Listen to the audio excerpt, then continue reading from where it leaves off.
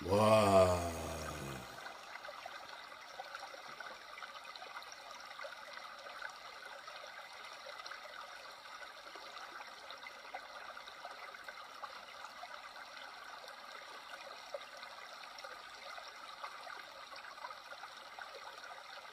Wow.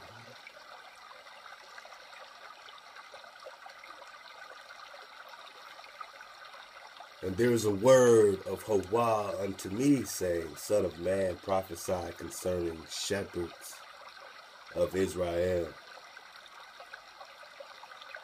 Prophesy, and thou hast said unto them, to the shepherds, Thus said Hawa to the shepherds of Israel who have been feeding themselves. The flock do not the shepherds feed. The fat you do eat, and the wool you put on.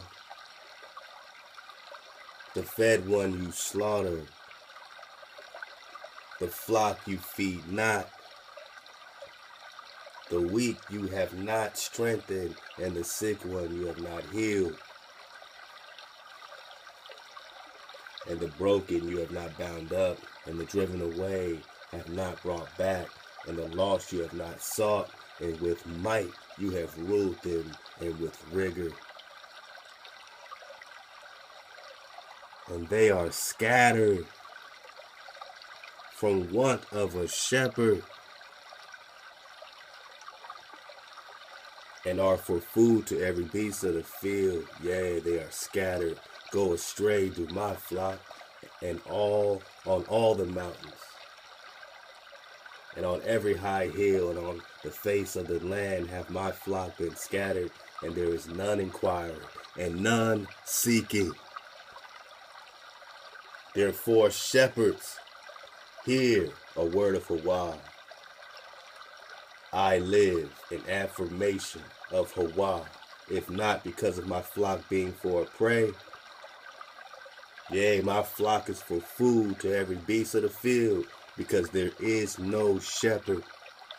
And my shepherds have not sought my flock, and the shepherds do feed themselves, and my flock they have not fed. Therefore, O shepherds, hear a word of Hawa, thus says your power. I am against the shepherds, and have required my flock from their hand and cause them to cease from feeding the flock. And no more do the shepherds feed themselves. And I have delivered my flock from their mouth, and they are not to them for food.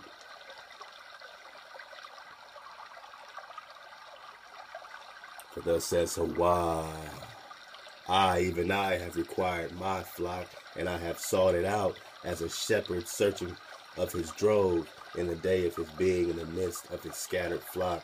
So I do seek my flock. I have delivered them out of all places, whither they have been scattered in a cloud and thick darkness,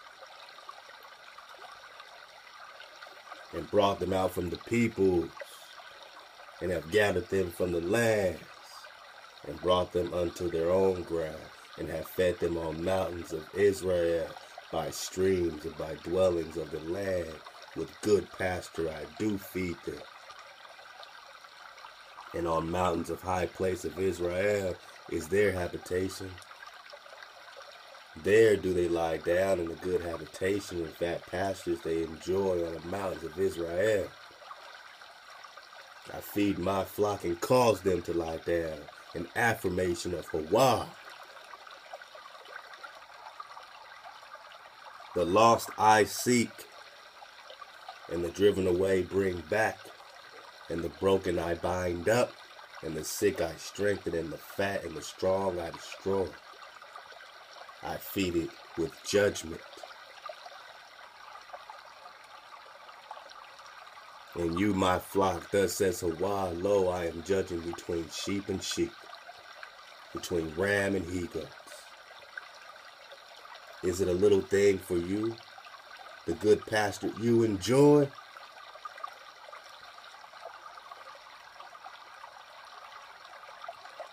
And the remnant of your pasture you tread down with your feet, and the depth of waters you do drink, and the remainder with your feet you trample.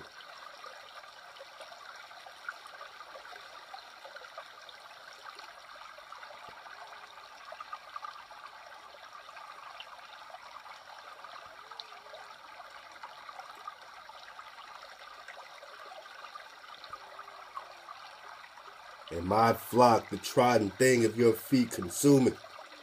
And the trampled thing of your feet, you drink it.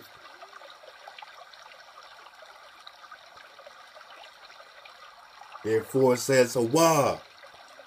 To them, I, even I, have judged between fat sheep and lean sheep.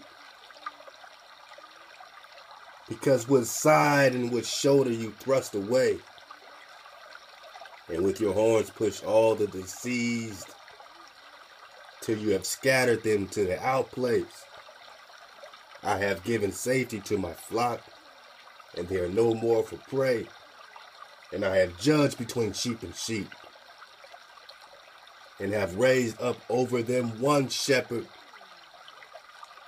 and he hath fed them. My servant David, my servant David. My servant David, he does feed them. And he is their shepherd. And I, Hawaii, I am their power. Wow. Hawaii.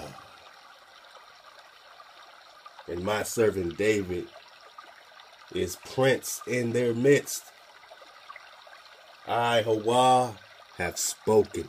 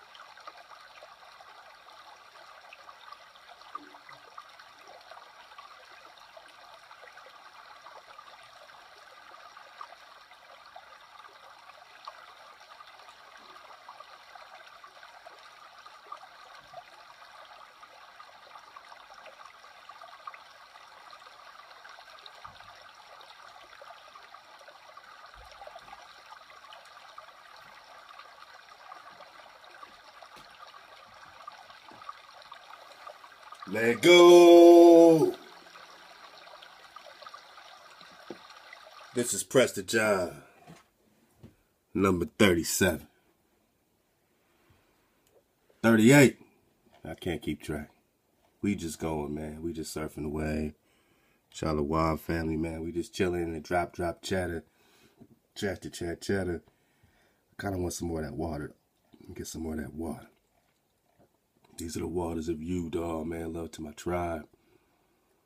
You know I mean? The real ones, man. Um, you know, and keep flowing, man. Keep flowing. Keep flowing with the wave.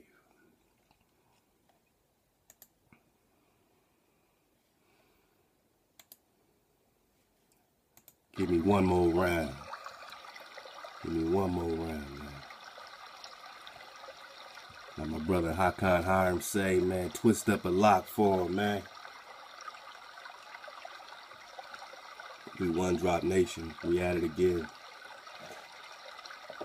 We're enjoying this investigation of part 38 of Prester John or the Noble Ethiopian. It's our personal flow. If you want to get personal with us, you can enjoy it. And uh, just be the water, man. You know, when you search for the priest king, you really got to be the water to know what's going on. Oh man, I mean,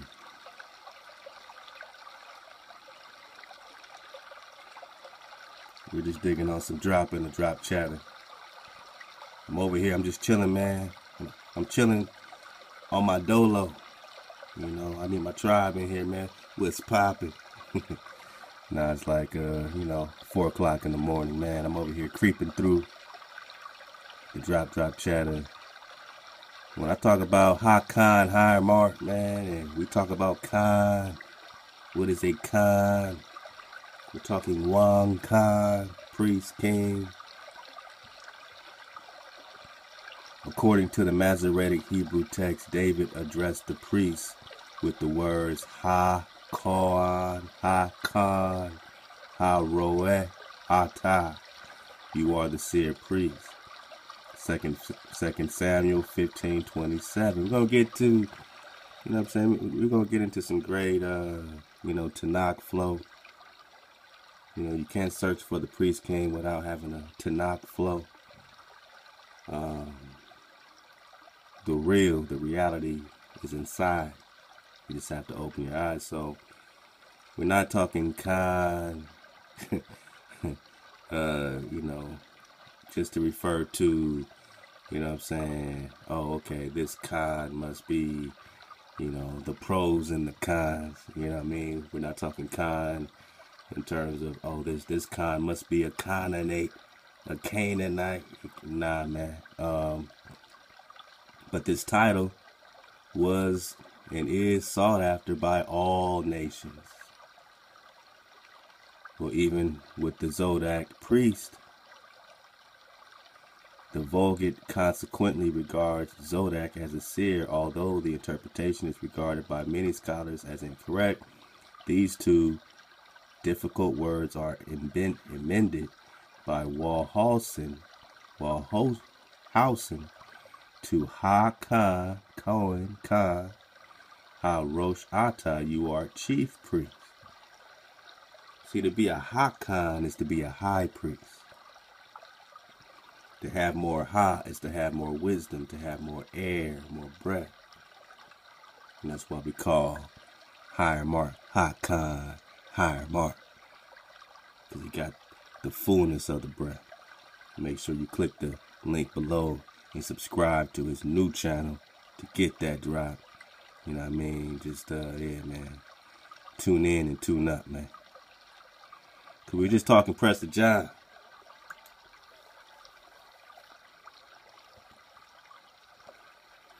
See, there's many depictions of Prester John, not just one where you, you know, start clicking at phenotypes. I mean, does this depiction of Prester John look anything like this depiction?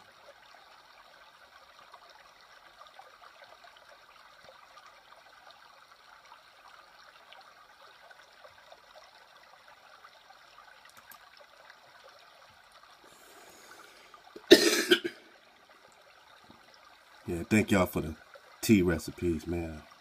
It's done me well. I'm almost through. It's all good. Appreciate y'all for surfing the wave because we're just talking about Prester John.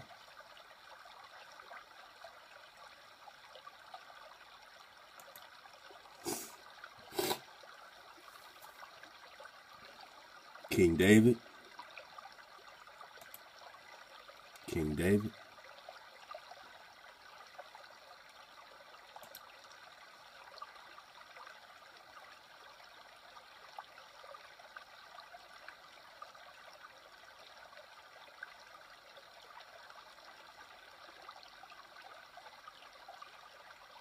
Yeah, let's get into these cons. Since we know we're talking King David or Prester John, since we know they're all searching for Prester John, I mean, we got the Prester John studies. It's all going down.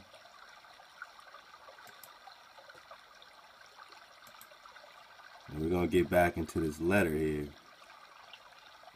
that we uh, left off at. Don't even trip, man. I'm just going to keep it flowing. And this is just what we're talking about when we talk Prester John studies. This mysterious Oriental priest came right this night. Let's go. We're talking priest King Prester John, the Templar cross, the indigenous Hebrew tau, the mark, the sign, the covenant. Let's go. Oh, we're just talking Ethiopia. Get that drop, get get 37, because we went in on the Ethiopians. And we're going to go in on Cush. We're going to go in on Ethiopia, the Kenites, all that stuff, man. Huh, I skip?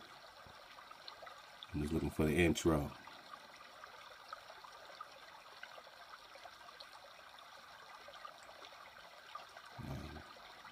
got the intro. I know we got the intro. Okay, okay, okay. Here we go. Let's get into the, a little bit of the forward, man.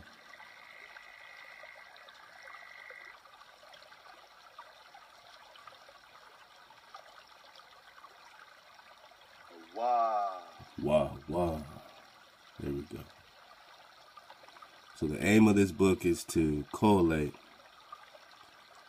and present the major sources for the study of the legend of Prester John. This book is called Prester John, the Legend, the Sources. Click the links, get them at the library, click the links below. This is number 38. Let go. For the medieval text, these are supplied in both the original language using Latin. We're going to get on this Latinus.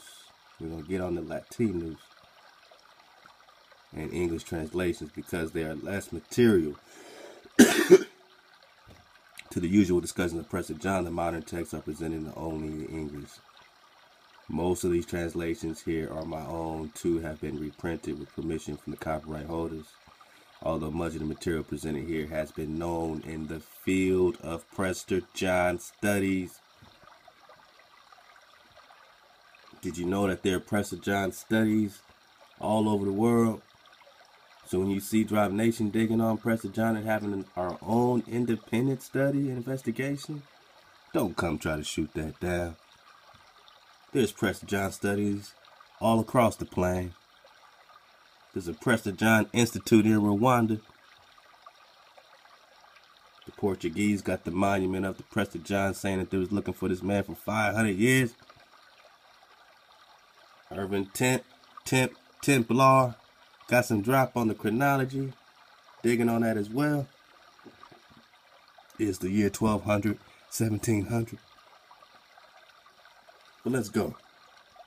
Although much of the material presented here has been known in the field of Prester John studies for some time, nearly all of it has only been available to those who have knowledge of the various foreign languages, including Latin, German, French, Portuguese. The primary aim has been to make this material accessible and to supplement the standard Prester John text with less well known material especially from the early modern era, so we can better understand not only the legend's genesis and development, but also its later evolutions and slow demise. So we need to focus on the fact that there's already Prester John studies going on. I'll uh, check it. When you talk about Zarncke himself profited from his predecessors, he is generally considered to be the founder of the academic study of Prester John. So he's the one getting it into the institutions on the hush hush. Because you never heard about the academic studies of Prester John. You think this is, oh, we just talk about the last noble image of the Negro. How can you hijack that? Because it ain't taught to you, Naga. You digging on it on your own, Naga. This ain't popular studies. This ain't public school information. Shit, even at the library in the prison that they had me housed, we found some drop on Prester John and all the historians didn't know what was going on. Even the ones in Harvard. And when they found Prester John, even in the encyclopedia, they said, why didn't we know about this? Because maybe they weren't enlightened with the academic studies going on in their universities about Prester John. The last noble image of the Negro. We're going to get that. The material presented here was brought to light through his thorough work and groundbreaking research. Okay, okay. All right, all right. We're going to get into President John letters. All right, man. Look, man. Look, man. The entire line of King Arthur, right? But there were there was another relatively new school of British history headed by writers like Geoffrey of Monmouth, which created a false genealogy of kings through the line of King Arthur. Let's go. At the end of the lengthy refutation of Geoffrey and his New Amsterdam Arthurian history, Arthurian history. So they created a King Arthurian history. William William poses the following question: Is he dreaming of another world containing infinite kingdoms in which those things which he recounted earlier actually happened? This is a question that must also be asked of the Prester John legend, the figure of Prester John. Oh, they're hijacking him with the title Christian when they're going to the Nestorini. Nestori, Nestor, we're going to get into that.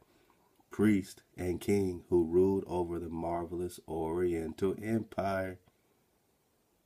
That brings us into what? The so called Mongols. Mongol means what? the great ones. So when I say Mongol, you think savage. But Mongol literally means the great ones. So instead of saying Mongols, if I say the great ones, will that connect back to the so called Hebrew people? The great ones?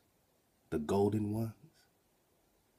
The last noble image of the Negro who is ruling these Oriental empires in the Middle Ages. Remember what the Oriental looks like? This is an Oriental.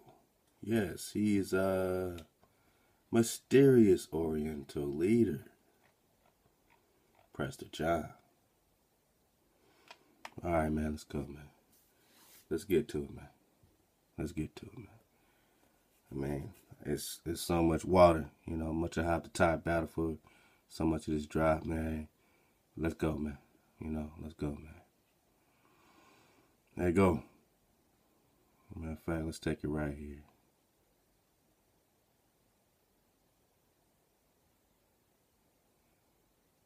And let it go right here, man.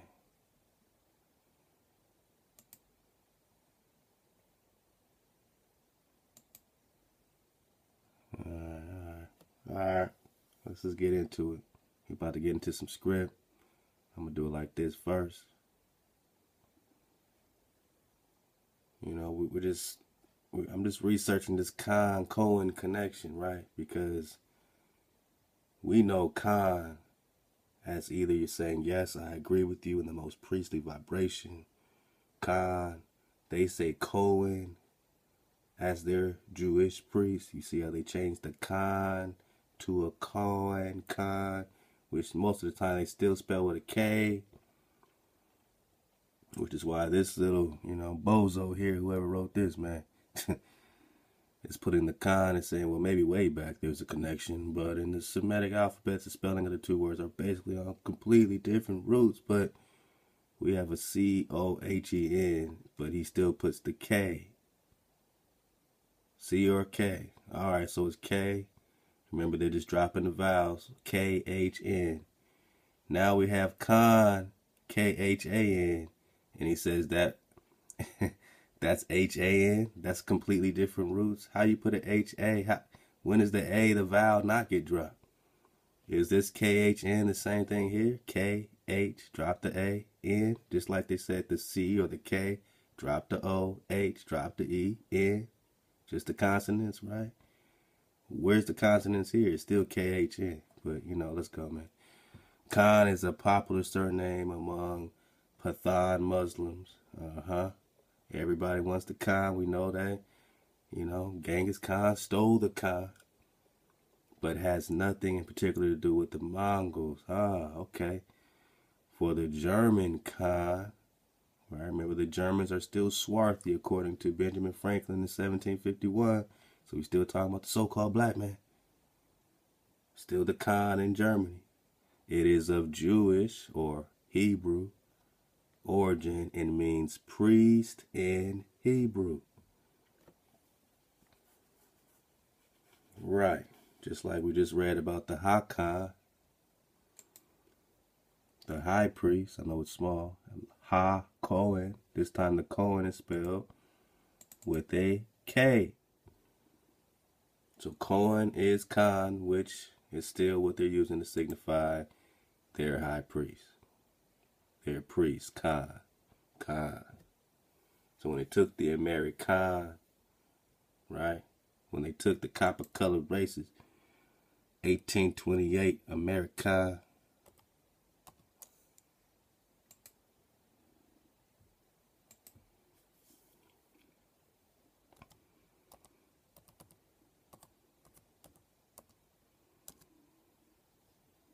They were taking the Khan. They were still taking the Khan, which is the Koan which is the Khan. K H A K A H A H N.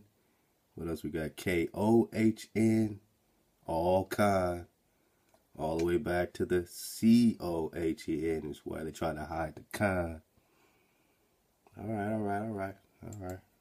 Khan. Khan. The priesthood. When they took the title, right? A native of America the priest already here on this land, the priest of Hawa, our creator, already here, which are the who? Copper colored races who they're calling Negro today. Found here by the Europeans. You just found us here, didn't bring us here. These copper colored Nagas were just found here. Remember, this is in 1828 before they changed this definition. You look at all the definitions after 1828, they ain't gonna say this. I mean, if it was nothing, oh yeah, no, no, that's just the current, you know, Tonto Native American. Yeah, then why did they even change it then? You know, why would they need to change it if this was just talking about the proxy?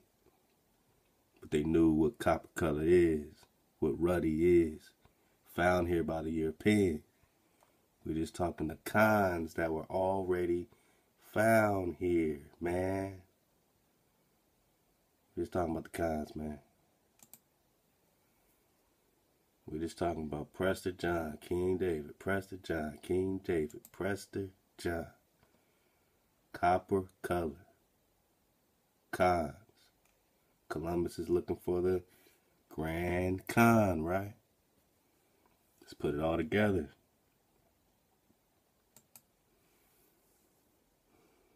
So we're gonna get some more out of this, uh, you know, legend sources.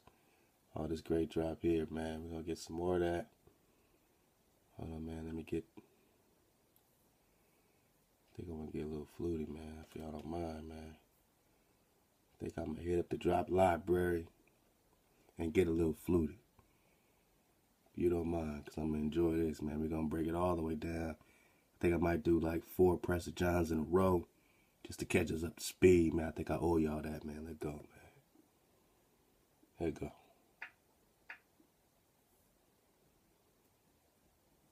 Let's get fluty. Let's get fluty.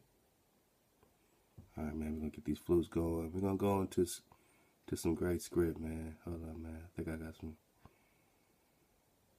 Where's that? Uh, okay, there we go. Let's go into some script. You know, I just want to read up on some thing. right before I even go there.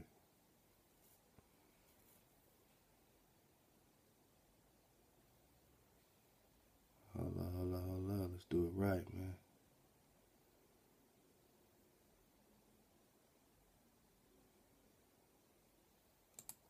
Drop chatter, man? Oh yeah, we got some drop. Oh yeah, top battle drop some more drop. Uh, some major drop. We're gonna get out this book called The Realm of Prester John. Oh yeah, we got some cold jams. You can compare this jam right here, man. This uh, Nat King Cole in 432 and 440. Just compare it. See how you flowing. Check this out, man. There we go. Oh. That's the other joint. Hold up.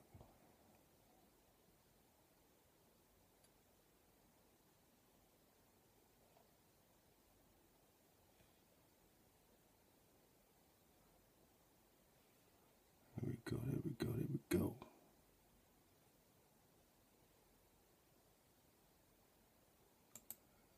There we go. We got it. Let's get fluted.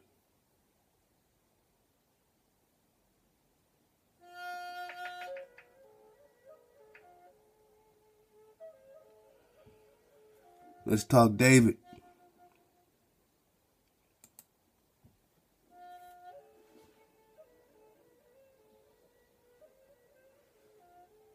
Let's just talk David.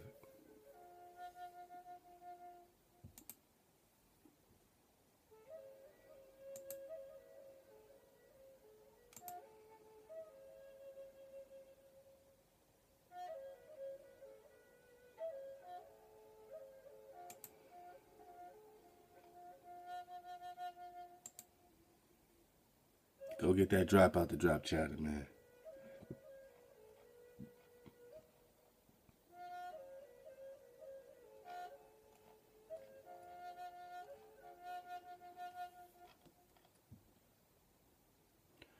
King David from the icon.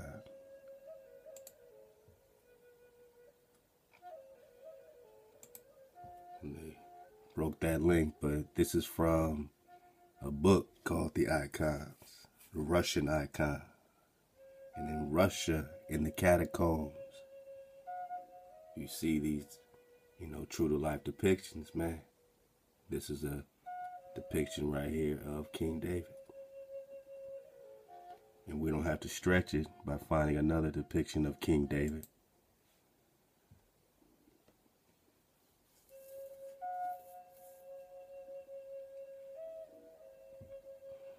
Let's talk about David. We got plenty of time. This is our investigation. We take our time around here. We're getting fluty. Let's go. Is David to rule again? Because, you know, why does Hosea 3 and 5 say, Seek our Creator, we will return, seek our Creator? What does it say?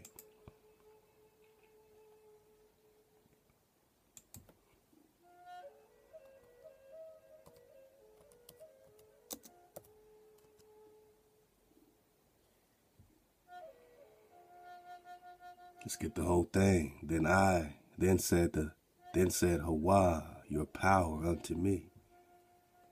Go yet, love a woman, beloved of her friend, yet an adulteress, right? Just like Israel has become an adulteress, adulterers. We put another power before a power. According to the love of Hawa towards the children of Israel who looked to other gods and loved flagons of wine. So I brought her to me. So I bought her to me for 15 pieces of silver. Hawa said, Fine, you want to play the harlot? I'll buy you. And for a homer of barley and a half homer of barley, and I said unto her, Thou shalt abide for me many days. Thou shalt not play the harlot. So I bought you. You was playing the harlot. You was playing the whore. But now I bought you. You you ain't gonna be no hoe no more. You ain't gonna be no hoe no more. You shall abide for me. Just for me. You'll live just for me. Says Hawa to you, the children. Thou shalt not play the harlot, man. Stop being a hoe, man. You're being a hoe around here. And thou shalt not be for another man. so will I also be for you. You see, this is a very intimate relation we have with our breath of security. You are mine, and I'm yours. And this covenant I make with you and you alone. What does it say in Amos 3? For the children of Israel shall abide many days without a king, without a prince. Sacrifice. You ain't gonna be no sacrifices. You in captivity, man. You have no image. You have no noble image. And without an ephod and without teraphim. So all your noble, all your royal, all your priestly things are gone, my Naga. And then what? Afterwards shall the children of Israel return. All right, we're being prophetic. We're returning again. Then what do we do? Hawa. And seek your creator. Seek Hawa. Their, not God, but their power. When you seek your creator, you're seeking your power. Hawa. So when you seek your Hawa, you seek your creator, what else do you seek? And David, their king. This is prophetic.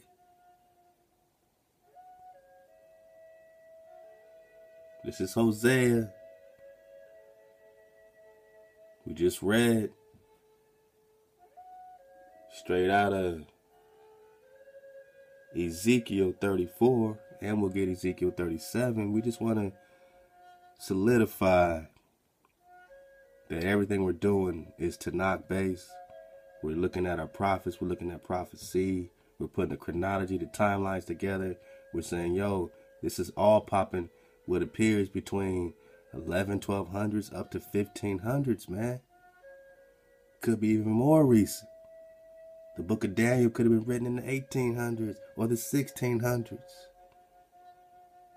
David could have been rocking in the 1200s. Joshua could have been rocking in the 1000s to 1100s. All this could just be happening recent without the BC. So there's something magical when you start to seek in this investigation, at least when you put all that together. That's what makes our investigation very important because we're putting it with the chronology, the true chronology of Anatoly Fomenko. And you can get dozens of his books, Love to Ty Battle, in the Drop Library right now. Who's, you know, using this, uh, you know, method to put together the Byzantine history, the Egyptian history, different things like that. We did many videos on it. Just research, uh, you know, the drive, 432, the drive, chronology, all that, man. You'll get a lot of recon already. So after you got knocked out and you're waking up and you're returning, you seek your creator and David, your king. And you shall fear or you shall respect, obey your creator and his goodness in the latter days.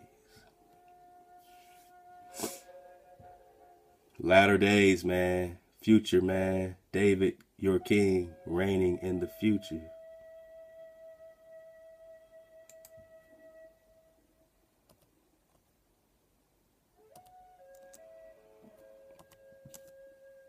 We read 34, Ezekiel.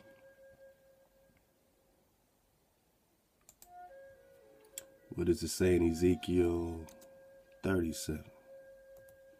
And then I'm going to get into this link.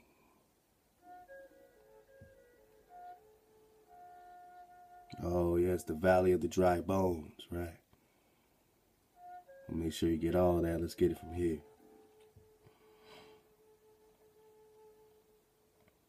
So after these bones come back to life, these people come back on board. They return, right? Israel returns. They seek their creator. And David is all we're doing in the Prester John investigation is seeking David throughout the timelines readjusting the timelines. looking at it with a dragonfly's perspective. That's a full 360 degrees if you don't know. To see clearly. So this house gets put back together again. Moreover, thou son of man, take thee one stick. That's funny, right? Ezekiel's also called the Son of Man, right? Just like they're doing in the New Testament. Take you one stick and write upon it for Judah, for the children of Israel, his companions. Take another stick and write upon it for Joseph, the stick of Ephraim, and for all the house of Israel, his companions. 17 and join them to one another into one stick and they shall become one in your hand. And when the children speak unto thee saying will you show us what you mean by this man? 19 he's saying to them Hawa thus says Hawa behold I will take the stick of Joseph which is in the hand of Ephraim and the tribes of Israel his fellows and will put them with him even with the stick of Judah and make them one stick and they shall be one. So the entire love story of the entire Tanakh is for Israel and the Creator to be one again. Which separates it from the whole, you know what I'm saying, plot of the New Test, right? Because it's not for the children of Israel to return to the Creator. Now it's for everyone through the blood of Jesus. Oh, Jesus at the right hand. Nah, you're at the right hand. David, his covenant lasts forever. So who's being replaced in the New Test? Let's go.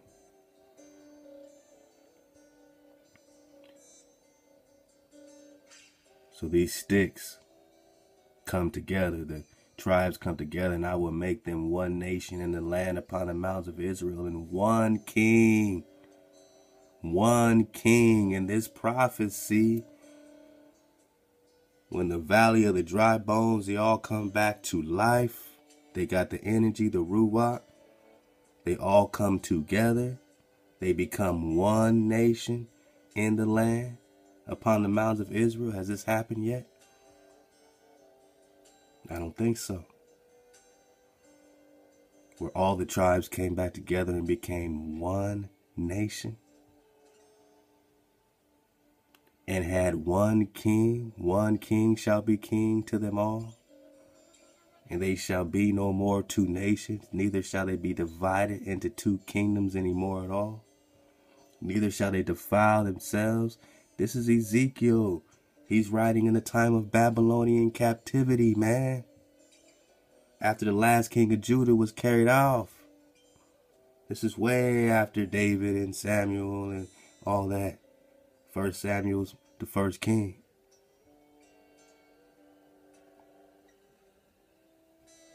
So we're talking Ezekiel in the time of the Babylonian exilarchs. Let's put it together. So they should become one nation. Neither shall they defile themselves any more with their idols, nor their detestable things, nor any of their transgressions. So when we're digging on Juan Khans and the priest kings and different ones, and some are having hijacked detestable things connected with their name, and others have this priestly status connected with their name, then we're bringing it all into picture because not all priest kings were perfect in the eyes of the Creator. Not all Prester Johns were perfect. Some did detestable things. Some had transgressions. But let's go. Didn't David do detestable things? Didn't David have transgressions? Didn't Solomon do detestable things? But I will save them out of all their dwelling places wherein they have sinned and will cleanse them. So shall they be my people, and I will be their God. And who? And David. And David, my servant, shall be king over them. So this is after you come back together, become one nation, wake up out the valley of the dry bones. This is after Babylonian captivity, right when it's popping off. And my servant David shall be king in the future. And they shall all have one shepherd. And they shall also walk in my judgments, observe my statutes, and do them. Let's go. So this is an interesting. Um, where is it at? Flow right here. You know, we dodged the hijack, get the babies out, but this is also bringing up some more script, man. Talking about, you know, King David ruling again. And that's what this particular 38 is about, man. I wanna I wanna bring it I wanna go right back home. And then we're gonna, you know, then we're gonna go in. But let's let's let's wrap a couple things up and let's go in. Let's go. Allahu Get fluted.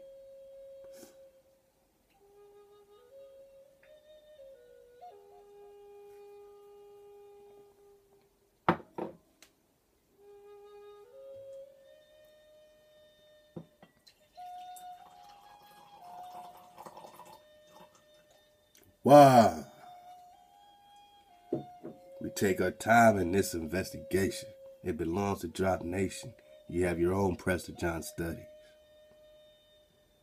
Just because other folks ain't having fun in their studies, they want to poke their nose in your study. Well, this belongs to you. One Drop Nation.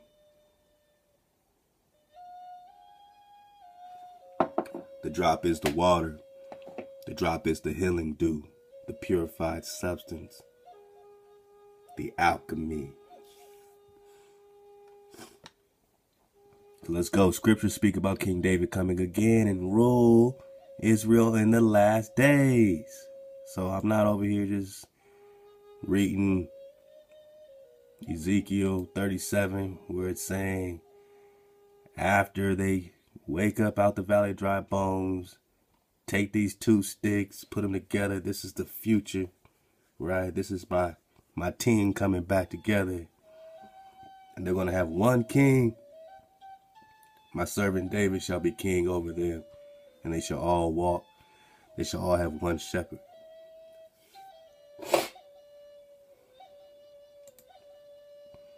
Scriptures speak about King David coming again and rule Israel in the last days. Jeremiah 30, verse 9. But they shall serve Hawa, their creator, and David, their king, whom I raise up for them. So Jeremiah, the prophet, is speaking about David in the future. Right? I mean, this is what? Isaiah, Jeremiah. This is after Samuel, right? After the you know, they had the judges, and then Israel asked for a king. Hiram breaks it down beautifully because they're asking for a whole nother frequency. Because David never called himself king, they were priests. Khan is priest. So David, their king or their Khan or their Wong Khan or On Khan or Un Khan will I raise up for them. We just read Ezekiel 37. David, my servant, shall be king over them. They will have one shepherd. Hosea 3 and 5. Afterwards, the children of Israel shall return and seek Hawa and David, their king. They shall fear or obey the Creator in His goodness in the latter days.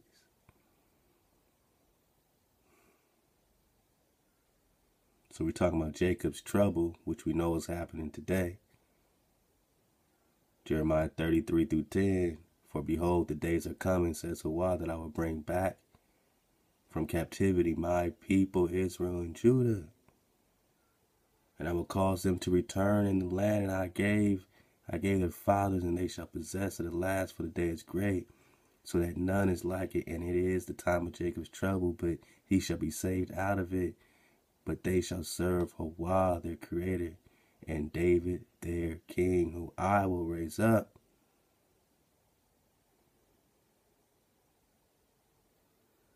I'll save you from afar. All right. Now, breaking down this Hosea 3 and 5, this is interesting here. It says, God also spoke through prophet Hosea regarding David's return in the latter days. However, the time of David's return comes with a different description. Israel shall be without a king or prince. This means there would not be any ruler for the children of Israel, which implies Israel would not be an independent nation. They would be slaves. Managa. Without sacrifice, this means there would not be any temple to make a sacrifice since the Jews or the Hebrews cannot make sacrifices anywhere they like. Without sacred pillars, this means the children of Israel will not be able to will not be able to continue in their abominations of idol worship using sacred pillars. Without ephod, this means there will be no there will not be any priest since only priests are allowed to put put ephod, put on the ephod, man. So dig on it. I will establish one shepherd over them, Ezekiel 34. Micah 5 and 2, but you, Bethlehem, Ephratah, though you are little among the thousands of Judah, yet out of you shall come forth to me the one to be ruler in Israel whose going forth are from old, of old, from everlasting. Therefore he shall give them up until the time that she is in labor has given birth. Then the remnant of the, his brethren shall return to the children of Israel, and he shall stand and feed his flock in the strength of Hawah and the majesty of the name of Hawah, his power, his creator, and they shall abide. For now he shall be great to the ends of the earth. We keep hearing about the ends of the earth. And to them, when they write ends of the earth, oh, the Ethiopians are in the ends of the earth. They're talking about right here in America, in the islands. Behold, the days are coming. Jeremiah 23 that I will raise to David a branch of righteousness a king shall reign and prosper and execute judgment and righteousness in the earth. In his days, Judah will be saved and Israel will dwell safely. Now, this is his name by which he will be called the Lord our righteousness. Translation, translation, right? You know what I mean? Oh, David, is that Jesus Christ? Do you see the hijack? In Matthew, oh, I will send Elijah the prophet before the coming of the dreadful return. Oh yeah, man, we're gonna get into John the Baptist, right? Who's Prester John? you know that there Jesus is Joshua. So is there a Joshua and David phantom duplicate connection as well? We're just talking about Prester John, the last noble image, the last noble image of the Negro. All right. All right. Let's go. Oh, we're going to get back into this Hyborian war map. I told you I'll pull it out, man, because we're going to talk Kush but when we talk Kush, remember this is Africa. This is a reality simulation in Arizona. All right, I get it. It's, it, it's a gamer map. It doesn't have much drop, right? Right? It's it's for gamers.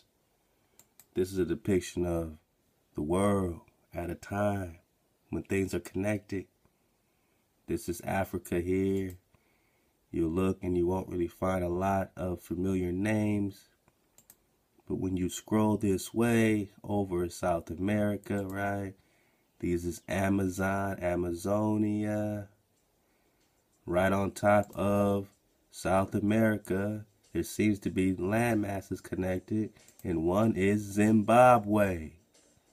Oh, I thought that was in Africa. It's on top of South America. In this reality simulation, reality simulation. You have Iranistan or Persia also connected to South America. So we're reading about Persia. Is there a South American indigenous connection with Persia? Here you have the Thoth spell barrier, man. The Thoth Amon spell barrier, right? Where Persia broke off at the tip of South America is the Thoth Amon spell barrier. It's just a game. It's just a game. On top of South America here, you have Kush, K-U-S-H, Kush. Kush connected to the Pacific or Western Ocean or Kush's Sea. How does Kush? Remember the capital of Kush is Meroe, right? You have Meroe here. Next to that is the Timbuktu or Timbuktu, they call it. Timbuktu. You have Darfur. You have Stasia. Stasia has Kemet in it. Kemet. Let's go. You also have Luxor and Sukhmet and the haunted pyramid. So you have this Egypt situation happening here, right on top of South America, right over Kush. Kush and Egypt are connected here. But on top of that is Shem, S H E M, Shem. All right. You keep going up. You got Ophir. You got, you know, all the way up to Pictland. And that's divided into 12 portions right here in California, it would seem, right? Right around where, where Cali would be, basically. All that. And you got, I guess, part of Canada here. You have the frozen lands, all right? And right about where the four corners are, you got Samaria, northern, southern clans, right here. Northern and southern tribes, right? Heartland. So it's a lot of drop going down. And a lot of what you would think would be the Egyptian drop is popping off right over here. And Kush is right here on top of South America, on top of the what? Black kingdoms. Black kingdoms. We're talking about the Black Horde, right? The Order. The Black River, the Amazon River. Cali, right? Kush. Cali is black. Kara is black. Kara Katai, Kara Cathay. Why was uh, Columbus looking for Cathay, knowing where Cathay is? We're just talking about reality simulations.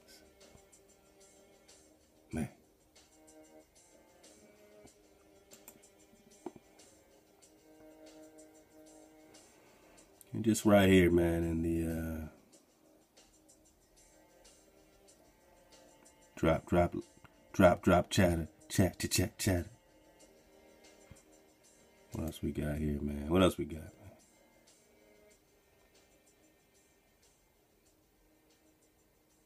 Oh yeah. You got some Moses drop. Oh yeah, we're gonna get some of this connecting the Akhenaten. All right, all right, all right. I'm just, you know, I'm just surfing the wave, seeing, seeing what, seeing what we talking about. I'm gonna get back to that. I'm gonna get back to that. What's this going on? Some, some Exodus drop.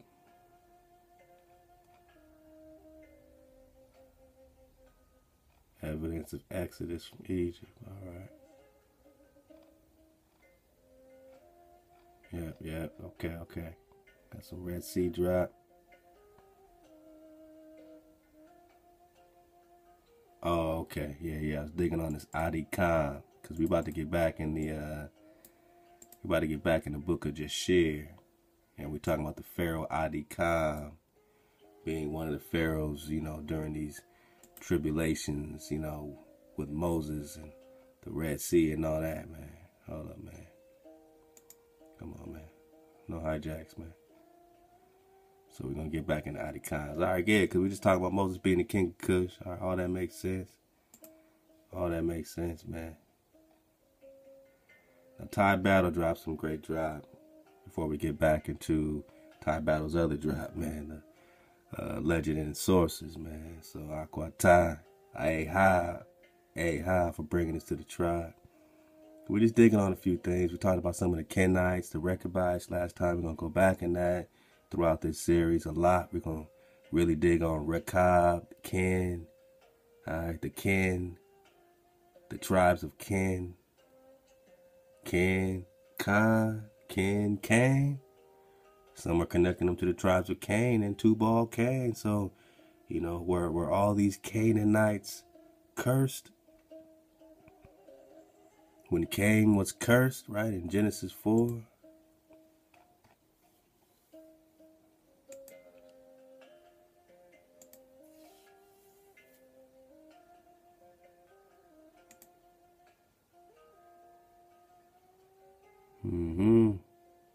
Adam knew his knew Eve, his wife. She conceived, bare Cain. All right.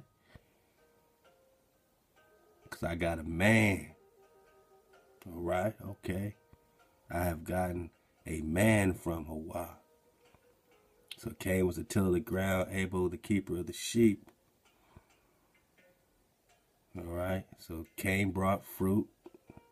I mean, brought a fruit of the ground other fruit of the ground in offering unto Hawa. So he brought Hawa of the fruit of the ground. I just want to just look at it with with uh, new eyes here. Abel brought the firstlings of the flock of the fat. Okay. Cain's offering said he didn't respect it. That's what it's saying.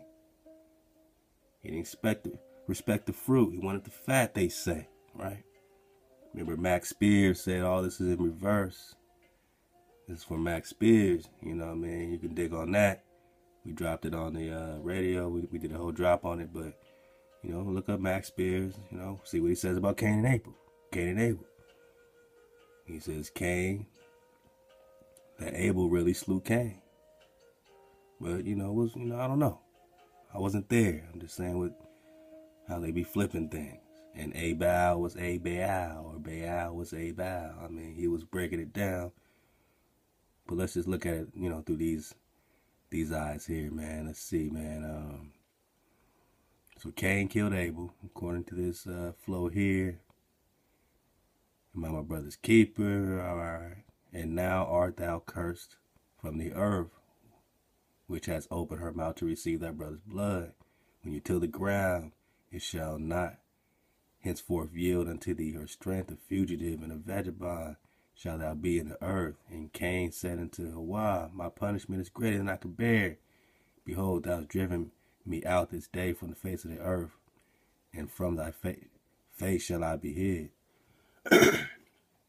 and I shall be a fugitive and a vagabond in the earth. And it shall come to pass that every one that findeth me shall slay me. And Hawa said, Therefore, whoever slays Cain, vengeance shall be taken on him sevenfold. And Hawa set a mark upon Cain, lest any find him should kill him. So was the mark as a ridicule. That's how people, you know, bring it up when they just talking about, oh, he got the mark. He got the mark. Is that a ridicule thing, or is there a mark or some type of energy around Cain that saves him from being slain? So when we get into the Kenites and their connection to Cain, you know, could we be talking about a tribe of the Kenites that's connected through Reuel or Jethro, who they're called Midianites, but they are actually Cainites or Canites or, you know, because you got Cain and Canaan. Canaan was the cursed seed of Ham. According to that, you know, story there, right? So Canaan was the cursed seed of Ham. Now you got Cain over here who's also cursed personally. Did it say all your seed would be this and all your seed would be that? You it says you will be a vagabond and a, a vagabond in the earth. But he said, everybody that see me is going is to slay me. And the Most High put a mark and said, man, anybody that touch you, man, they gonna get it seven times over. So this is just showing that the Creator was still, you know, giving love to Cain for some reason, right? He didn't let no one just slay him, and he put a mark of protection, so any lest any find him should kill him. So there was something, some type of mark that was keeping Cain safe. So when we get into the Kenites, we can connect why they were within the flock of Judah. And Moses married what they say married a Kenite wife. Or, you know, could they be referring to Zipporah, the, the Midianite? Possibly as the same thing. So I'm just, you know, we just going, man. Follow me now. Now, this is a Ty Battle's drop. This is not in order, but this is just some uh, pages out of the realm of Prester John by, I believe, Silverberg, I believe is his name. I don't know if I can get that any bigger, man. But if you can see it a little bit, let me see. Might be a little small, so, you know, pull it up in the uh, drop chat. Now here it says the conflict between lion and the unicorn, which cannot be traced to any source earlier than Prester John's letter, took on its symbolic political significance in the late 16th century during the time of tension between England and Scotland. For the royal arms of England bore these three bore three lions, and those of Scotland bore a pair of unicorns.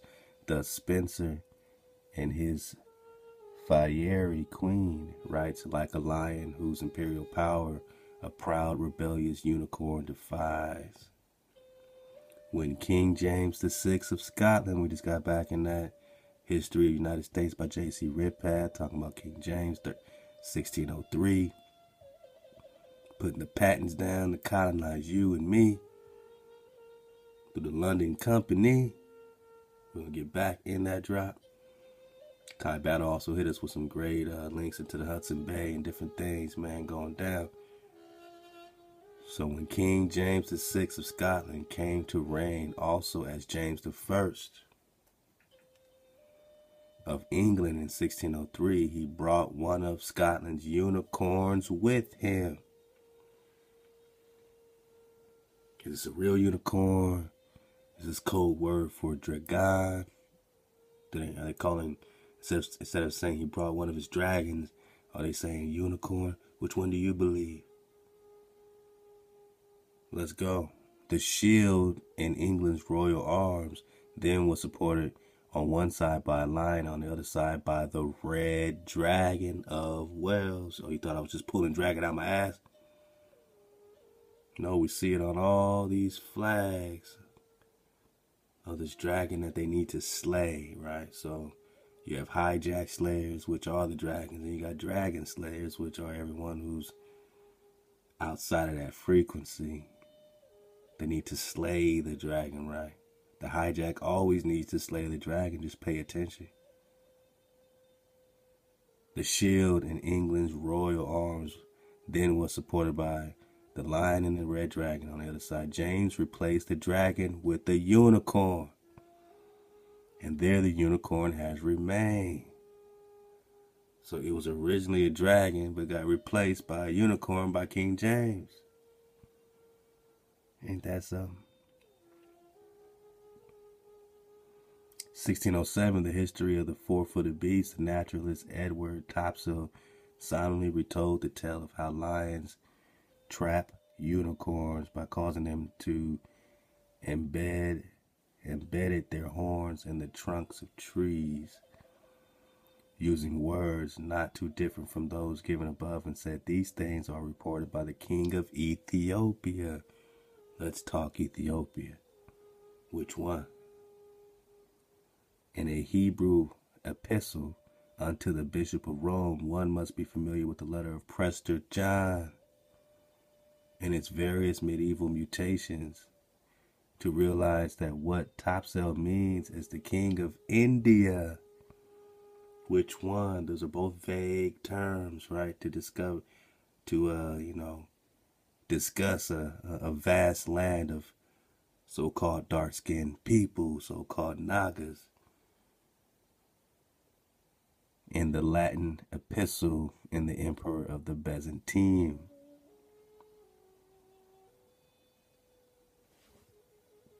Let's go.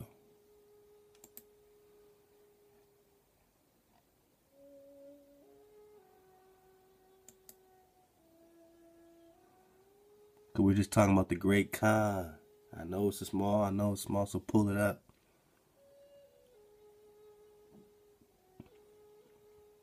We're talking the Tartars, right? The aforesaid King John died without. Hold on, I think I got the one right before this. That's 108. There we go. This is 108. Let's start here, man.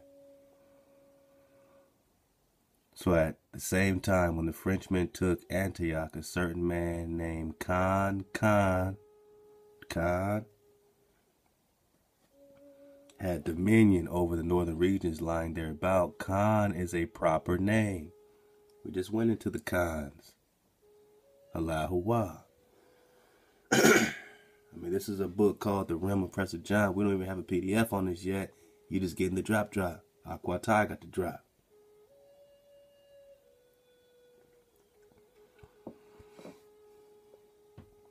It's an ongoing investigation, man. We're talking about the Byzantine Empire, the history, the 1400s, 13, 12. So Khan Khan had dominion over the northern regions lying thereabout. Khan is a proper name.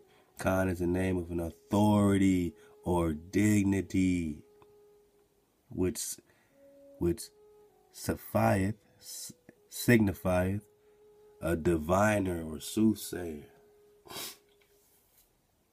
So Khan is a high priest, a diviner, a proper name, an authority is Khan. See how they spell it? Even if it's small, you can see they spell it C A N. What does it say here? C A N. So the Amaru Khans the priest that we just found here by the Europeans in a whole new world to them are the copper colored Khans that were just found here. You are the Khan dynasty. and the whole world has made a confederacy against you to steal your Khan. Who is Prester John? Who is Dawood?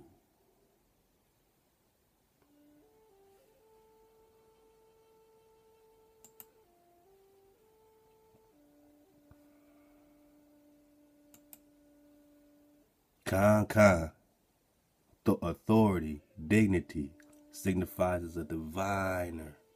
All diviners are called Khan among them. Hmm.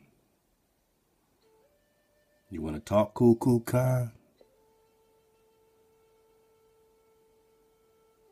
You want to talk Quetzalcoatl?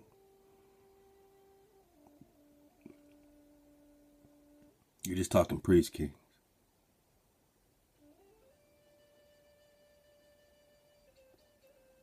whereupon their princes are called Khans. You're just talking the princes, the Indian princes, princes, because that unto them belonged the government of the people by divination, high priest.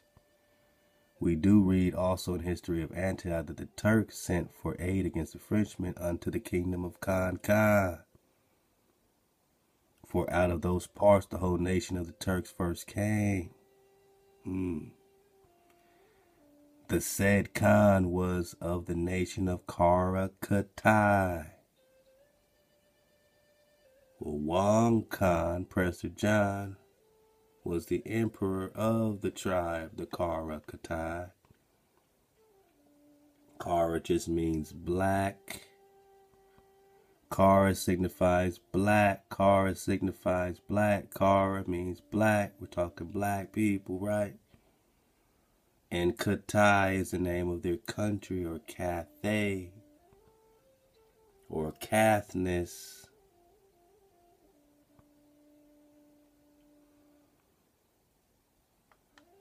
Talking Caithness, man. Caithness. We're talking the Khan.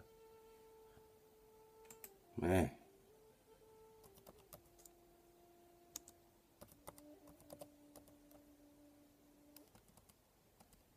Oh, we, we, we pulling it all out for Prester John. So we know who we are and we know who we're not.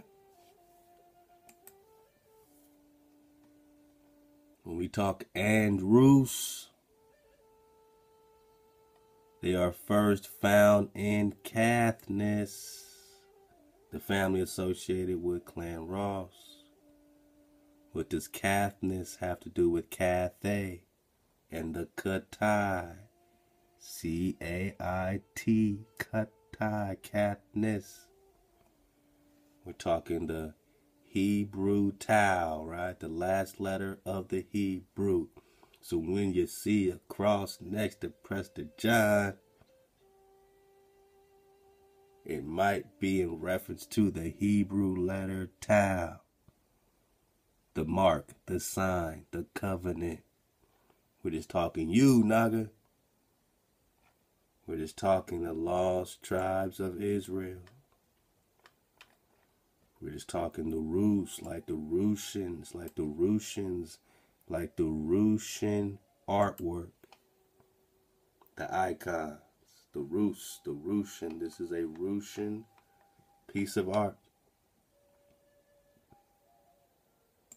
A Russian piece of art found in Cathay, Caithness.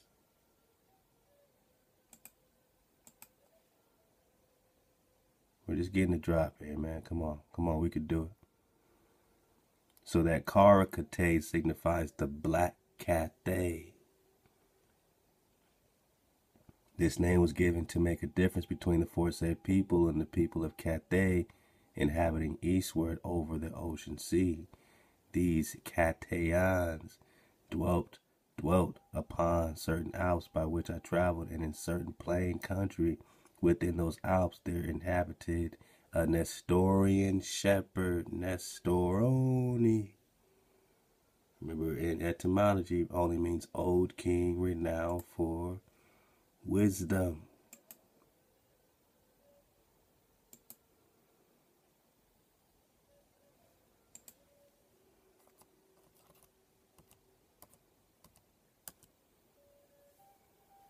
Old king renowned for wise counsel. So you're going to see this Nestor keep popping up in reference to specifically what was going on with Prester John.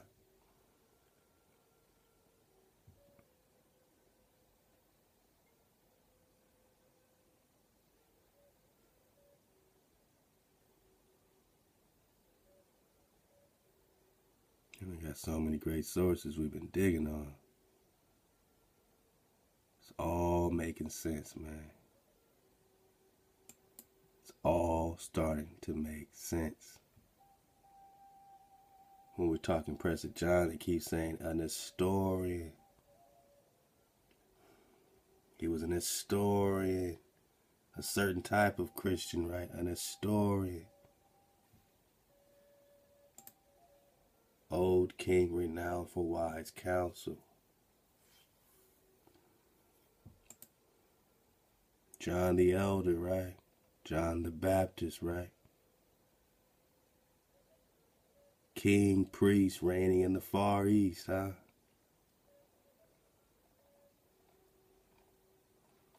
And this is where it's going to keep coming back to this Yelü Dashi, which is where we're going to be turning. We're talking about the same Kara Kathe or Kara Katai. It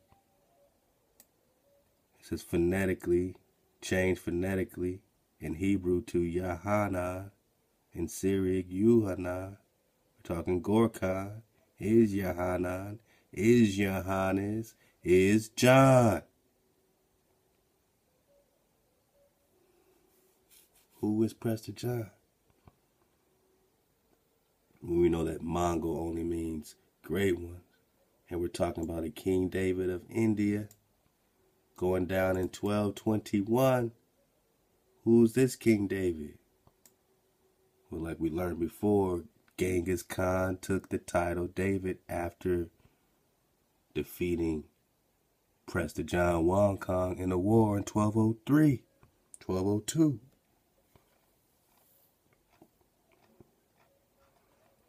Oh man, we're gonna get some more of that because we're only talking about Ethiopia. Which one? We're only talking about Prester John, the rim of Prester John, the three Indias, the three Indies. Land of riches, marvels, peace, justice, administered by a court of archbishops, priors, and kings. Take their kingdoms, the dukedoms, the principalities. Let's keep going. As you see, I'm truly surfing the wave.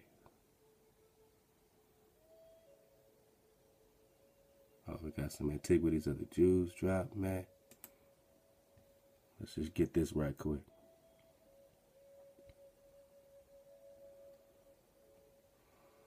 So we got Rubruquis, the Franciscan. Pull up the links. This is a wiki source, Curious Myths of the Middle Ages, Prester John. So Rubruquis, the Franciscan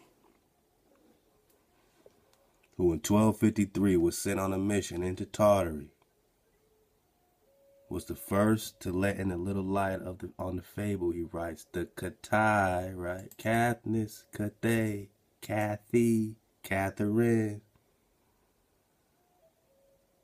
The Cathay, Katai, dwelt beyond certain mountains across which I wandered, and in a plain in the midst of the mountains lived once an important Nestorian See how they keep having to put that when they talk about Juan Compress John? They got to say Nestor, old king renowned for wise counsel. They keep making him one of the magi in the New Test. He was one of the Ethiopian eunuchs, one of the magi, one of the three magi witnessing baby Jesus. Oh, you mean baby Joshua? Hawashua. Hmm. Which one? Are we talking the 1100s? And would it all come to light?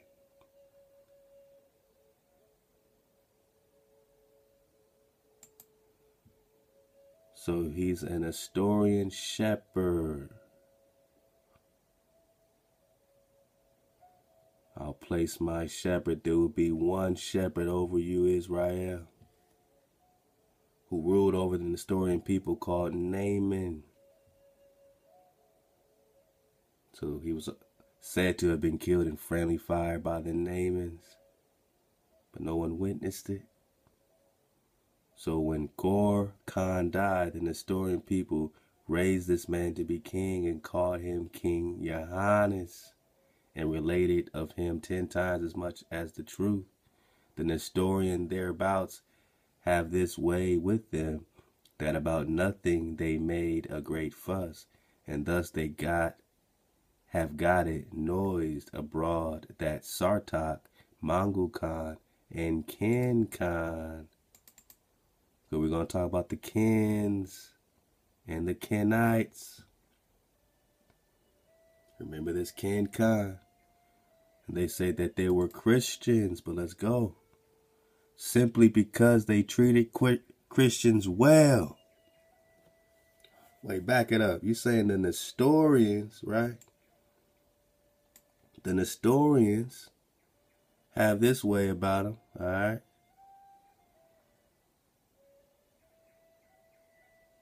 And thus, where we at? Have this way about them that about nothing they make a great fuss, and thus they have got it noise abroad that Sartak, Mongol Khan, King Khan were Christians simply because they treated Christians well. So you're saying these people, these these Christians will call the Mongols Christians and they will call the Hebrews Christians just because they treat Christians nicely? Because at that time, they're at war against Islam, right? They're at war against the Sultan for the Holy Land. More on more. And showed them honor, more honor than other people. So because you treated these Christians, you didn't slay them right away. You showed them a little more honor than other people. They called you a Christian too. Now read it right here. What does it say? Yet in fact, they were not Christians at all.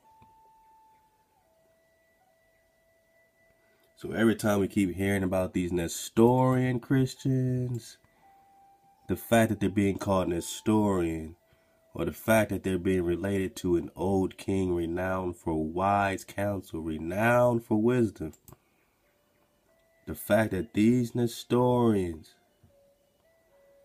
were only called Christians because they treated Christians well and showed them more honor than other people, yet in fact, they were not Christians at all.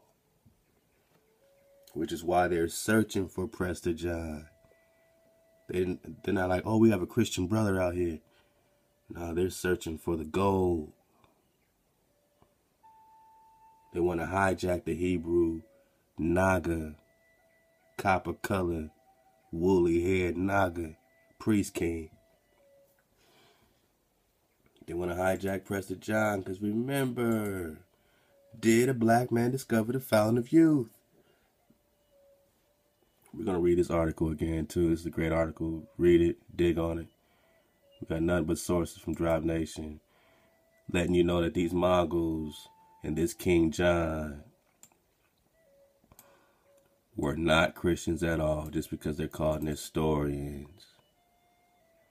And in like manner, the story got out, got about that there was a great King John. However, I traversed these pastures and no one knew anything about him except a few Nestorians. They only had to drop on King David. In his pasture lives King Khan. So when we talk about Moses and the mixed multitude, and did Moses marry a Kenite? oh man, almost there when we talk about Ken Khan and the Kenites and the relationship with the Cain, children of Cain, but were they a blessed seed? Were they a blessed seed from this Cain?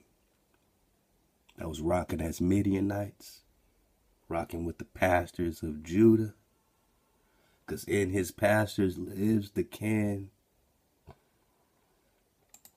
the priestly Ken whose court was brother Andrew, who I met on the way back.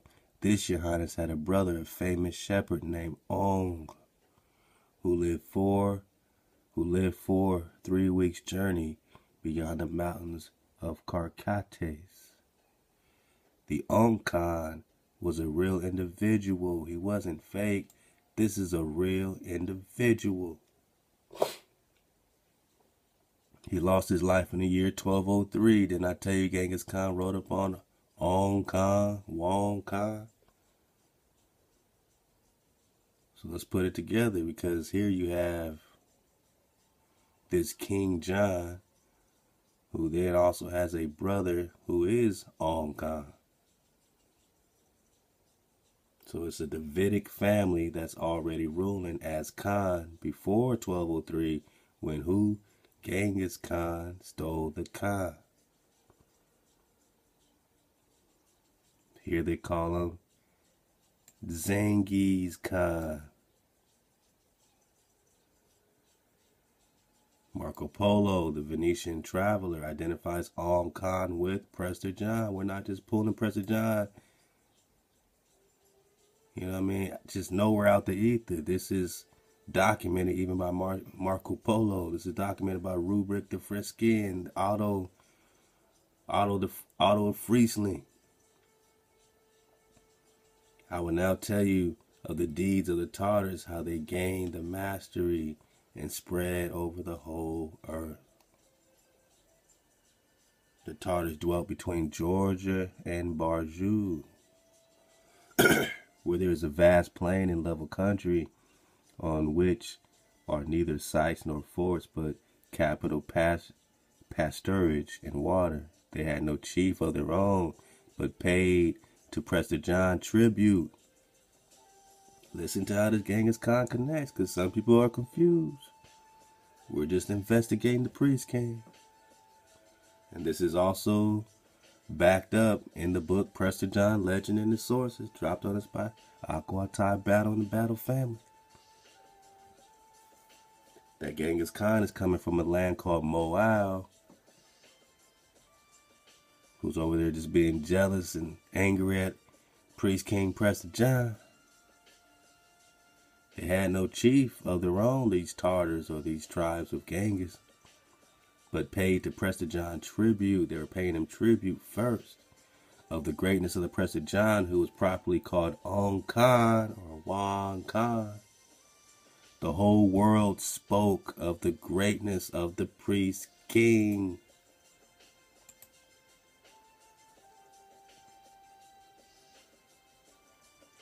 The whole world spoke of it. The whole world spoke. The whole earth. The Tartars dwelt between Georgia and Barj and Barju, the greatness of Prester John. Whole world spoke. The Tartars gave him one of every ten head of cattle when Prester John noticed that they were increasing. He feared them and planned how he could injure them. All right, so this is from a hijack perspective. He got afraid of them. Let me see how I could hurt them. You think that's how it went down? Well, let's go. He determined, therefore, to scatter them, and he sent barons to do this. But the Tartars guessed what Prester John proposed, and they went away in the wide waste of the north, where they might be beyond his reach. Then he goes out to relate how Zengis, Genghis, or Genghis Khan became the head of the Tartars. So when you talk the Tartars and Tartary, you're talking the anti King David, the anti Prester John. Hey, remember we got that depiction that that dark or rich copper colored brother, skinny brother in the in the painting and how he fought against Prester John, right? So Genghis Khan fought against Prester John and after a desperate fight overcame and slew him. All right, there's different different takes on this. You can keep it going, you can keep it going.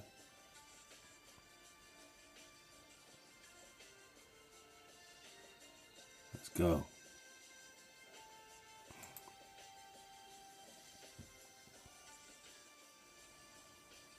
So read this drop, man.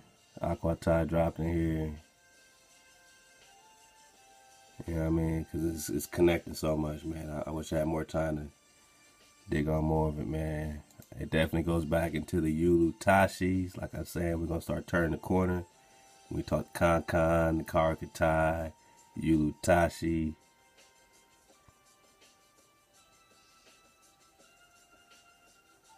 Oh, ah, man. I know so much drop, man. Alright, alright, alright, alright. Alright, Aquatai, you got the drop. Wong Kong, Toghrul, the Keraites, Voot or Ong Khan, C-A-N. He tells of Toghrul's downfall at the hands of Genghis Khan. So you can't be against Prester John and Genghis Khan because they were at war. You're going to have to choose up. You're going to have to choose up.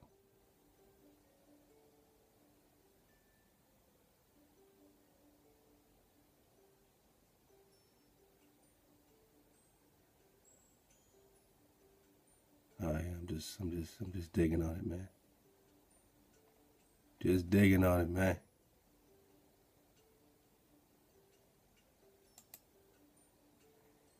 Just digging on down here. It says an historian Naaman, who was said to be descended from the three magi of the gospel. Right, right, right, right. Okay, okay, okay, okay, okay. Good. Here's uh, you know, you can see right here the Realm of Prester John by Robert Silverberg. Uh, no, I know. I know Aquata, I know we got a lot of dry man, but as you can see, we're going to we're going to bring it all into reality again. That these maps exist, that will have the correct orientation, that you are not in the west in America, you are in the east, you are in the Pacific, right? That's why they put Pacific on both sides, like the it's gonna curve into a ball and connect the Pacific Oceans. the ocean's only on one side, the Pacific. So when you're over here, South America is really North America when you got the correct orientation. You see how this almost connects to Antarctica. To go back in that Prester John drive about the Shambhala, Antarctica connection with Shambhala, which is connected to Cibola. All of this is connected. All of this is connected. So get your orientation, man. Get your orientation. Let's go. Let's go, man. We got, we got so much to belly flop into, man.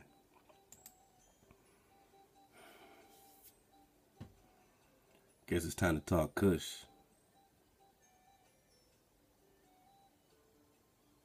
Because when we talk Rechabites, you talk Midianites, you talk Canaanites. How's this really connected? What we do have to remember is that we're reading in the book of Jasher.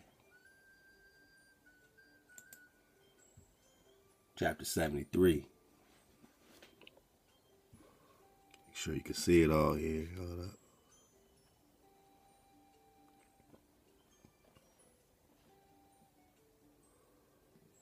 And uh, probably can't see it all, all, but I'm trying. in the 55th year of the reign of the Pharaoh, king of Egypt, that is in the 157th year of the Israelites going down into Egypt reigned Moses and Cush. Huh? So you're saying Moshe is king of Cush? Let's keep reading. Moses was 27 years old when he began to reign over Cush, and 40 years did he reign. So we got some of this before Moshe reigning in Cush for 40 years. The king of Cush. Hawa granted Moses favor and grace in the eyes of all the children of Cush, and the children of Cush loved him exceedingly. So Moses was favored by Hawa and by men. And in the 70, 17th, 17th or seventh, excuse me, day of his reign, all the children of Cush assembled and came before Moses and bowed down to him to the ground. Which connects to a lot of great work that Hakan Hire March putting together, man. We had a great, great powwow on this one, man. And you know, brothers, you know, he he got that breath, man. Because we was fighting on the same side sometimes, right? I mean, Moses was king of Cush, and Hawa was rocking with Moses and Cush during this time. So we mention Cush, hold on, man. Where is it, man? Where is it, man? we mention Kush when we have orientation, and we put Kush back in what could be its original place, K-U-S-H, and you have the Cushish Sea, the Western Sea, right? This is Cush. We see how all this could be connected. Let's go.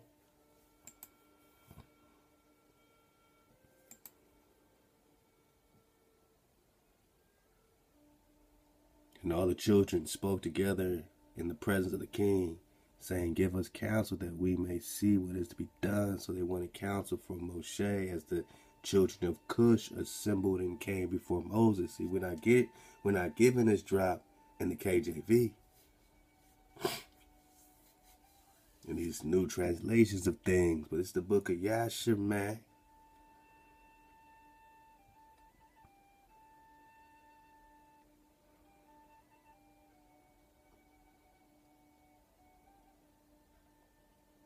So you read all this, man. This has to do with the wars that were being fought. So all the children of Cush, each went each to his home, to his wife and children, and all belonged to him.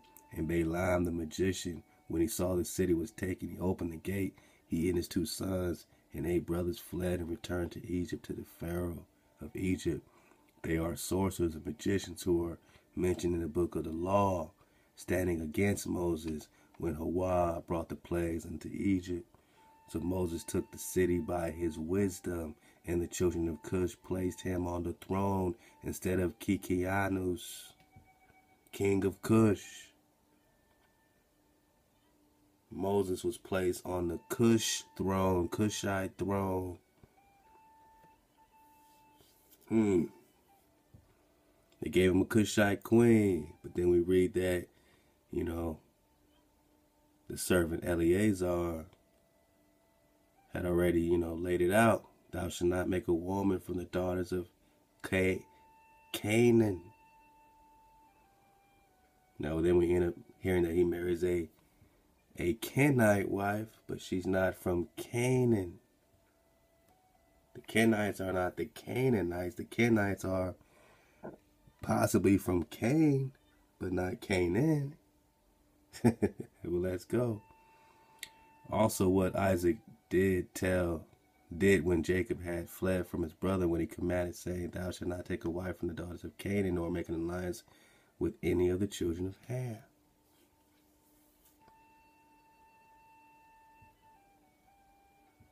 So if he did make an alliance with the Canaanites or Rechabites, who are possibly of Cain, are they the children of Ham? No, they would be Cain.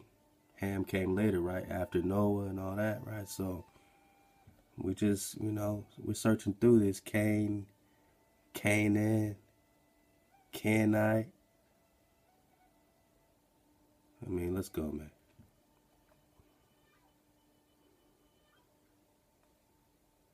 Remember the Rechabites. Remember the record Rechabites. I told you we ain't gonna leave the record Rechabites this time because the record Rechabites are connecting this Prester John investigation, this nomadic tribe, this Moshe.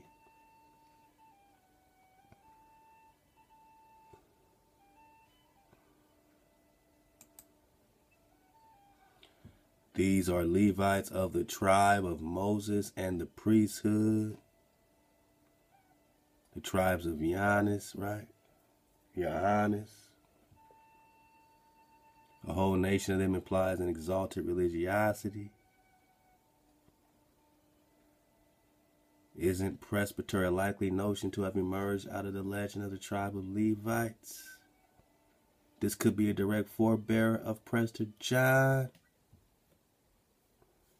We're just talking about the tribes of Moses. Indeed, they were too exalted for possession of territory in biblical times. So you have a separate tribe of Moses that's not the Levites, that are a mixed multitude. And yes, the origin of Abyssinia.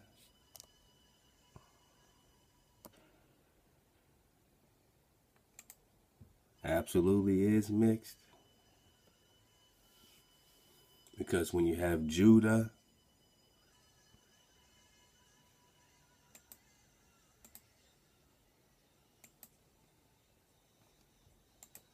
when you have Judah mixing with these Kenites. Hold up, man.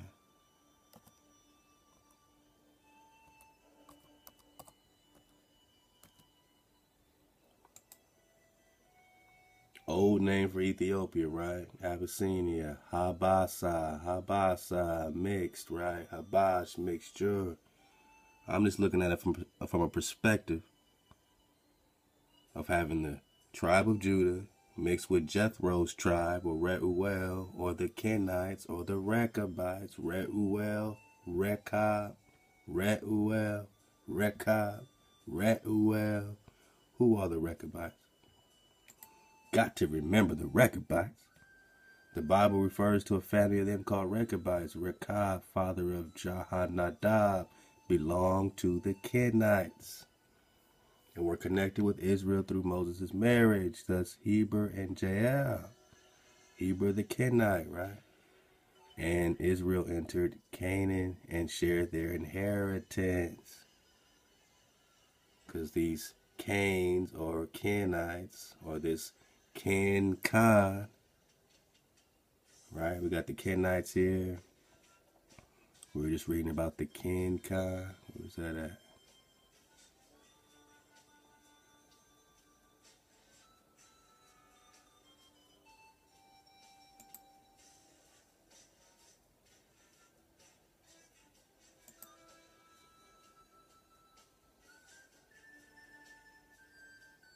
Oh, that's the Con Con.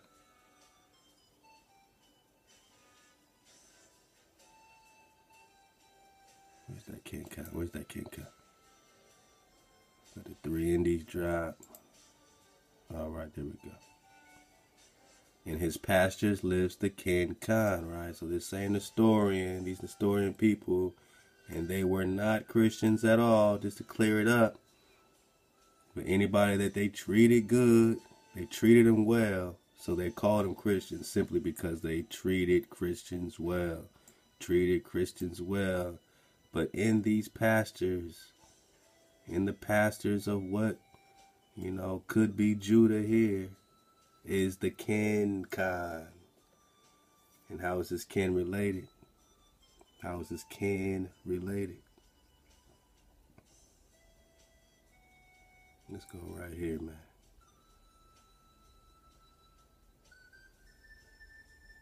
Where's my Jash? Where's my Jash?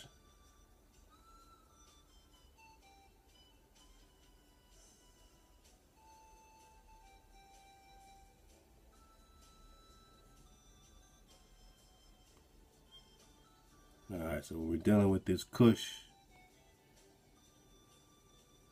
We're talking about this marriage with Zipporah. Let's keep going. And we read all this, man. So, you know, go get the drop. Hold on right quick. Let me go to that Rechabites. Because I want to finish this point with these Kenites. Since we got the Ken Khans. Alright, the Bible refers to this family of men called Rechabites or Rechab, father of Jehonadab, belonging to the Kenites connected with Israel through Moses' marriage. Jeremiah 35. Then I set up before the sons of the house of Rechabites bowls, bowls full of wine and cups and said to them, Drink wine. They were invited by the holy prophet of God, Jeremiah, to partake in wine in consecrated room in the very temple of God, and they still turned down the wine because of a promise that they made to their father Rechab not to drink wine. That was their family thing. And even when they sat amongst the priests with Jeremiah, the holy prophet, in the temple of God, Creator, Hawa, the Rechabites had taken a vow to obey the commands of their forefather, and no matter the setting or circumstances, they remained true to their commitment. So these Kenites, if they are Cain, they had a connection to the Creator. Remember, Cain still was given a mark specifically so he's not slayed. Anyone who touches Cain gets it seven times over, so there might be a seed that the Creator's rocking with as well. And this might be what we're talking with the Kenites.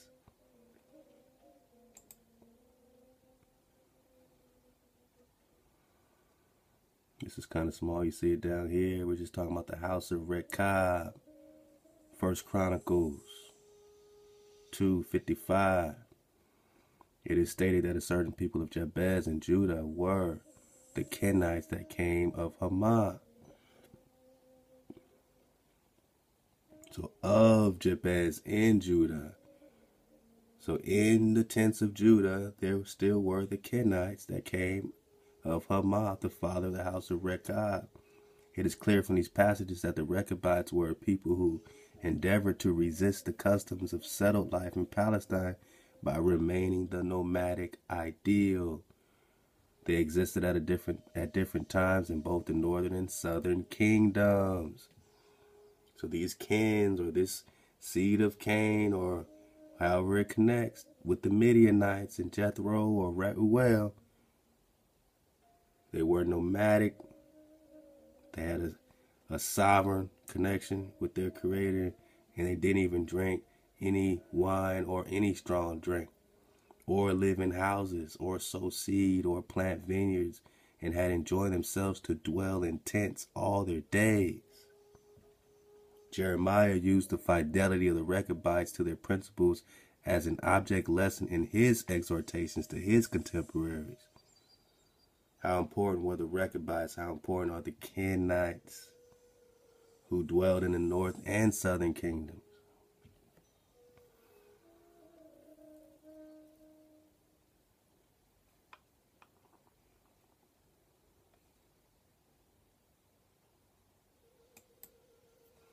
So this drop here, get it as we make our dismount. Get ready for it. Pull this link up and just get a piece of it, you know. He dodged the hijack, you know, he got some thing about the Israelites being white and all that stuff. But let's just focus. Jehu, the new son, the new king of Israel, had just met a man whom he knew who he knew but who is a stranger to us. But he met Jehonadab, the son of Rechab, is your heart true to my heart as mine is to yours? They were bonded by their hatred of Baal worship. Right? Just like the tribes of Moses. Also nomadic, right? Tribes of Moses, priesthood. Too exalted for the possession of territory in biblical times were not one of the twelve tribes among whom Joshua divided up the land of Canaan. They were something else. They were Canaanites. They were, you know, Abyssinian mixed multitude of these Canaanites, Jethro's people, or the Midianites. Remember, Giannis means that you're fleeing from idol worship. Johannes, Johannes, fleeing from idol worship. Let's go.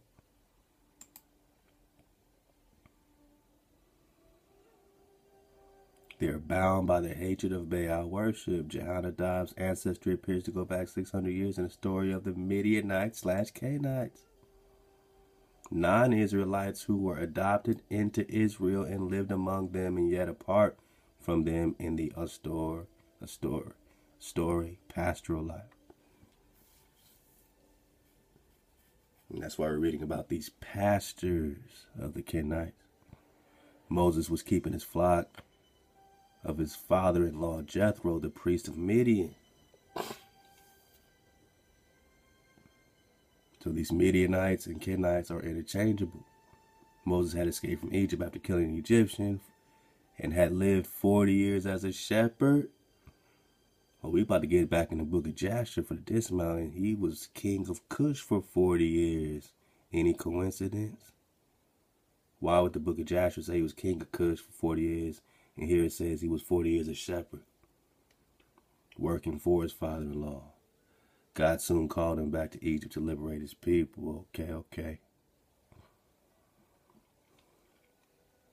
Because in the book of Jasher, he's called Reuel, not Jethro. Reuel, the Midianite father-in-law of Moses. Okay. So he invited Hobab, son of Jethro, Another link here is going to say Hobab is also another name of Jethro. To the promised land, this is where the mixed Abyssinian, this is where this comes into play. Because we connected this with Cush, Moses being the king of Cush. Connected it to Ethiopia, Abyssinia. To the Rechabites, the Kenites. Hey, surfed away. And we're just talking Khan. We're just talking priest in Hebrew. Priest. We're just talking the tribes of Moses. Too exalted for possession of territory in biblical times. I'm just saying over and over again, remember the Rechabites, man.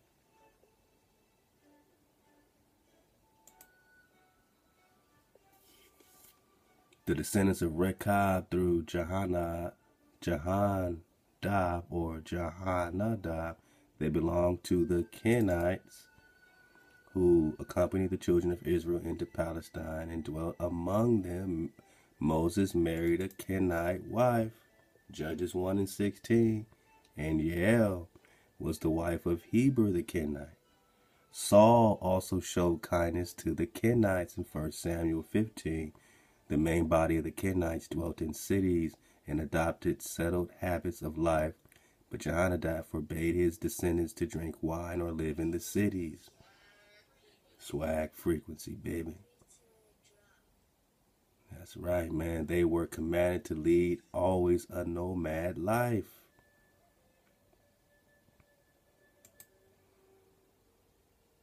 Too exalted for the possession of territory in biblical times are these tribes of Moses. Remember, Moses is a priest king.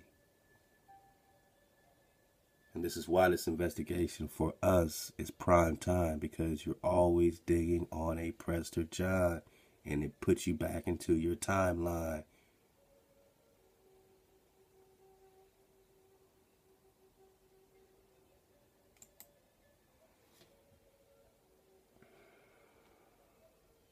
We're just talking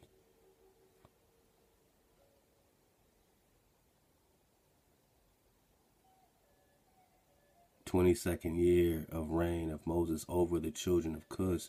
Latinus reigned over the children of Chittim 45 years. So you're talking about Edom, right? And you're talking about someone named Latinus, which is where they're probably getting Latin from, right?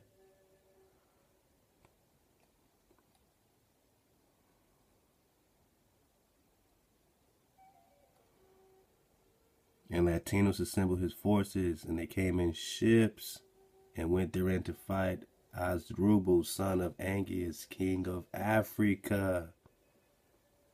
And they came to Africa and engaged in battle with Azumbal and his army, and Latinus prevailed over Azumbal. And Latinus took Azumbal the aqueduct which his father had brought from the children of Shittim. And this was Latinus, the king of Shittim. What's it got to do with Latin? I mean, I never seen it put like that before. What's it got to do with Latin?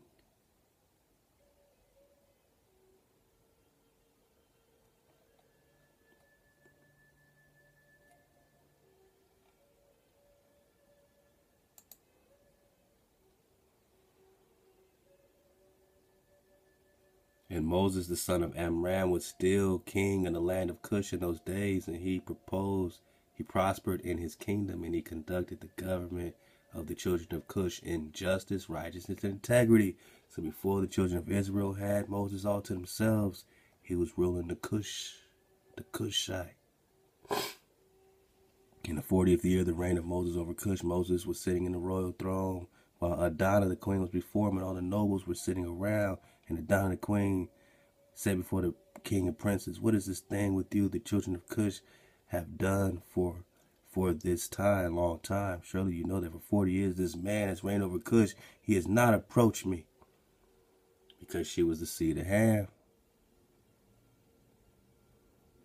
Nor has he served the gods of the children of Cush. So what happens? Moses ends up separating all right.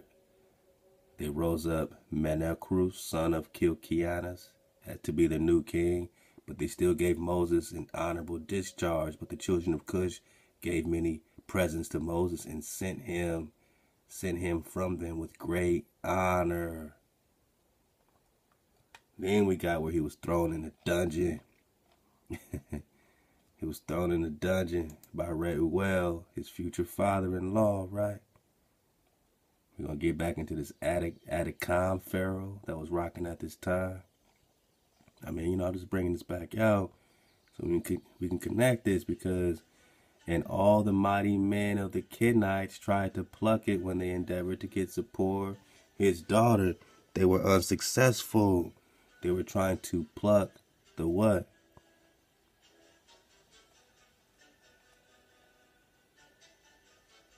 Trying to pluck the scepter. What scepter?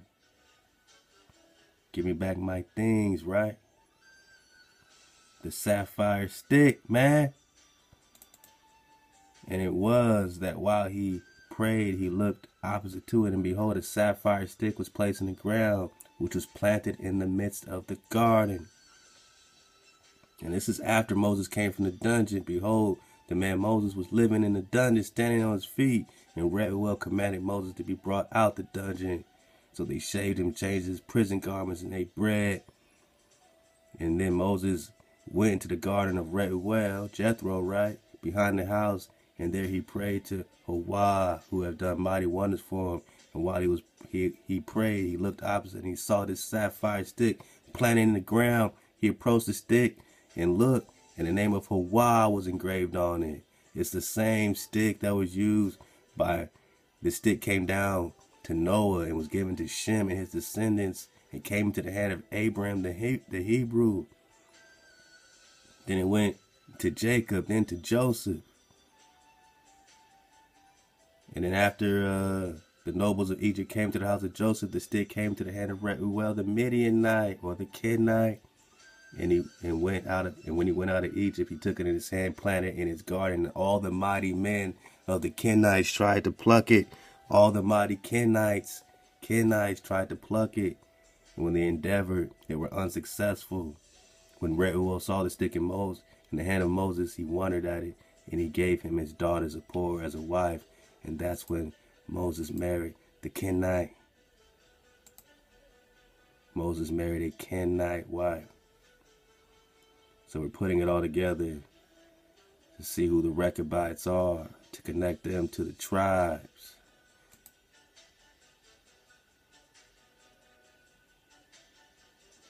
So we can see clearly. Pull up this link, we're gonna get right back in it.